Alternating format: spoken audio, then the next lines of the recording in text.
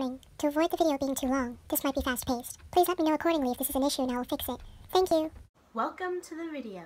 I'm your student, Claire Jennings. This is what I look like. Today's video is a class project which contains a visual representation of three medical careers that I am interested in learning more about. Each career represented in this presentation will show you what I do in the career, the work environment, my education slash licensing slash certification requirements, the average salary, and the future job outlook. Those three careers are pediatrician, which has been my dream career ever since the seventh grade, a pathologist, which is the first medical career I ever considered, and a health unit coordinator, which is a career I had once considered. Those careers will be shown in that order. So, let's get started and meet our pediatrician. Good day. I am Dr. Dena Witherspoon, and I am currently working as a pediatrician in a clinic. I'm responsible for the health of the youth ages 0 to 21. I focus on children with injuries, common illnesses, and infectious diseases. I work with other doctors to collaborate and make the best decisions to take care of a child, as well as ordering tests, prescribing medicines, and discussing test results. I also spend time talking with parents about treatment, care routines, and communicating symptoms. Additional responsibilities are to make children feel safe during physicals, keep track of a patient's history, respect the rules of consent, and judge the symptoms of a patient. I can work in hospitals and clinics and will have to stand for extended periods of time alongside working directly with children and communicating with parents, guardians, support, and administrative staff. I work long hours with possible travel between clinics and hospitals and may share some of my patients with other doctors. I also have to be on call during weekends and after hours and have to use computers, printers, and fax machines to do some of my work. In order to work there, I need a high school diploma, a bachelor's degree or higher, four years of medical school to get my MD, Doctor of Medicine, or DO, Doctor of Osteopathy, a residency with hands-on experience and close supervision for 37 years, a license and a certification by the American Board of General Pediatrics. Altogether, this took me a minimum of 11 and a half years after high school and a maximum of 17 and a half years. I receive an average salary of $183,240 in the U.S., with the minimum being about 68.9K and the maximum being more than $300,000. So far, a moderate number of employability opportunities, even though the demand is really high.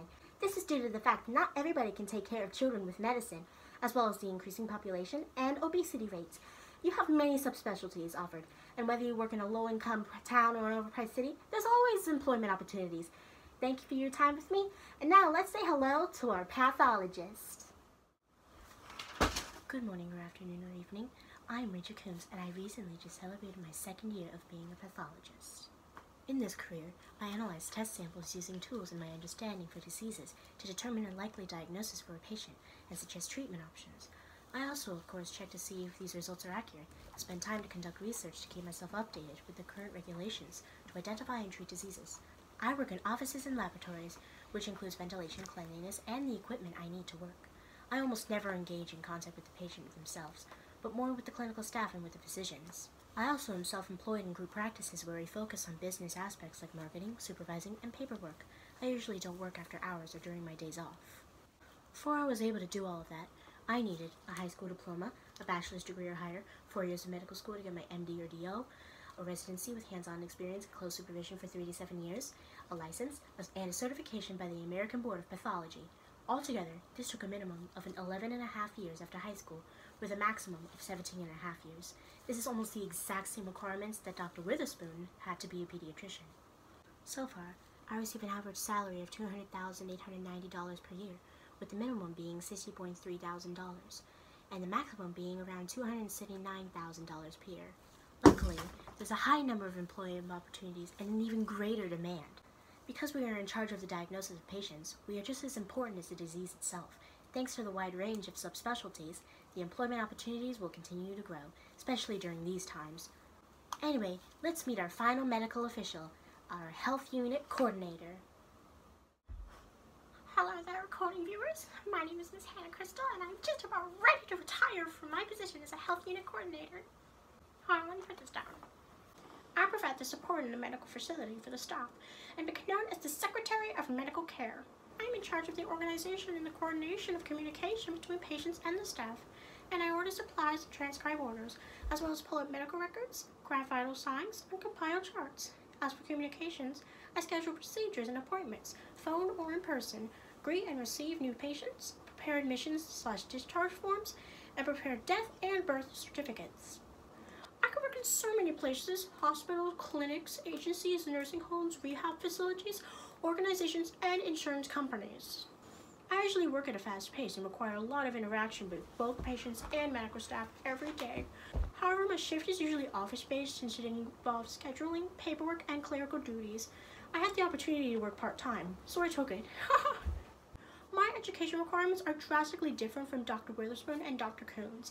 All I had to do was get a high school diploma, then complete a training program, which included on-the-job training, classroom instruction, and apprenticeship. This also includes certificate, diploma, and associate degrees within this training. That's it. And this would take about 6 to 12 months after college. I'm covered! During my time here, I received an average salary of $47,888 per year in the US, with the minimum being 22.5k and the maximum being 116k.